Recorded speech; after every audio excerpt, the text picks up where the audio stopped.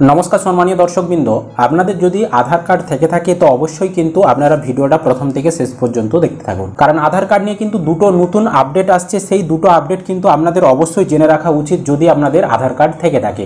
তো সেই দুটো আপডেট আপনার কি সুবিধা করবে এবং আপনার কি অসুবিধার সৃষ্টি করবে, এই সকল বিষয়গুলো নিয়ে কিন্তু আজকের এই ভিডিওতে আমরা আলোচনা করব। তো অবশ্যই কিন্তু ভিডিওটা আপনাদের উপকারে আসবে। প্রথম থেকে শেষ পর্যন্ত ভিডিওটি দেখতে থাকুন। আর আপনি যদি আমাদের চ্যানেলে নতুন দর্শক হয়ে থাকেন, পরবর্তী ভিডিওর আপডেট সবার আগে পেতে চ্যানেলটিকে কিন্তু অবশ্যই সাবস্ক্রাইব করে রাখবেন এবং পাশে আসা বেল আইকনটি ক্লিক করে অল অপশানটি অন করতে ভুলবেন না। প্রথম আপডেট। তো প্রথম আপডেটটি হলো, বাবা ও স্বামীর নামের পরিবর্তে আধার কার্ডে লেখা থাকবে কেয়ার অফ। সম্প্রতি এমনই সিদ্ধান্ত নিয়েছেন unique identification authority of India ওরফে ইউআইডিআই। আধার কর্তৃপক্ষের দাবি, কোনো সম্পর্ক স্থির করা কার্ডের কাজ নয়, তাই পুরনো নিয়ম থেকে সরে আসছে তারা। নতুন নিয়ম অনুসারে কোনো ব্যক্তি আধার কার্ড আপডেট করলে তার বাবা বা স্বামীর পরিচয় প্রকাশ্যে আনা হবে না। এবার থেকে কার্ড আর সম্পর্ক বলে দিতে পারবে না। এখন থেকে আধার কার্ড কেবল আপনার পরিচয়পত্র হিসাবেই কাজ করবে। আগে যেখানে আপনার সঙ্গে বাবা বা স্বামীর নাম লেখা থাকতো, সেখানে এবার কেয়ার অফ লিখবে কর্তৃপক্ষ।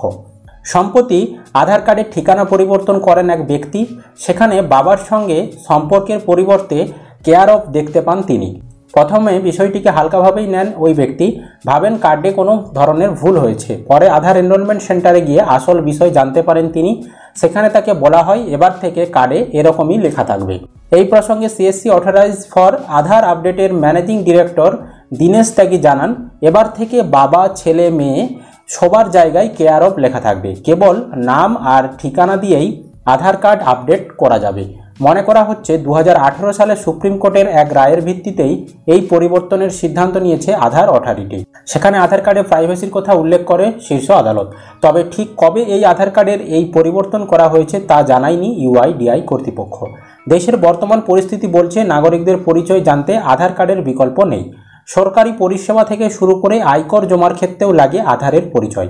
প্যান কার্ডের সঙ্গে আধারের নথির লিঙ্ক করা বাধ্যতামূলক হওয়ার কর জমা দেওয়ার কাজে লাগে আধার কার্ডও। সরকারি প্রকল্পের টাকা পেতেও আধার কার্ড আবশ্যিক, তাই নিজের আধার কার্ড যাচাই করে নেওয়াটা অত্যন্ত প্রয়োজনীয়। তো এই আপডেটের ফলে আপনার কি সুবিধা হবে? আপনার সুবিধা বলতে এই যে বাবার নাম, তারপর স্বামীর নাম, এই যে যে সকল ভুলগুলো হয়ে থাকে, অনেকের স্বামীর নামের জায়গায় বাবার নাম চলে আসে, অনেকের বাবার নামের জায়গায় স্বামীর নাম চলে আসে। তো এবার কিন্তু সেই ভুলগুলো অনেকটাই কমে যাবে, কারণ কেয়ার অফ দেওয়া থাকবে। এবার কেউ বুঝতে পারবে না ওটা আপনার স্বামী না ওটা আপনার বাবা, এটা কিন্তু আর কেউ বুঝতে পারবে না। তো যাদের বাড়িতে আধার কার্ড রয়েছে, তাদেরগুলো চেঞ্জ হবে না। তারা যতক্ষণ না অনলাইনে বা অফলাইনে কোনো কিছুর আপডেট করাচ্ছেন তার আধার কার্ডে, ততক্ষণ কিন্তু ওইগুলো চেঞ্জ হবে না। আপনার যেই কার্ডে যেই নাম রয়েছে, বাবার নাম বা স্বামীর নাম, সেটাই কিন্তু থাকবে। কিন্তু আপনি যদি কোনো কিছু আপডেট করান আপনার আধার কার্ডে বা কোনো কিছু যদি ভুল সংশোধন করান, সেক্ষেত্রে কিন্তু যেই নতুন আধার কার্ডটা আসবে, সেখানে কিন্তু এবার কেয়ার অফ দিয়ে আপনার বাবার নাম বা আপনার স্বামীর নাম কিন্তু চলে আসতে পারে।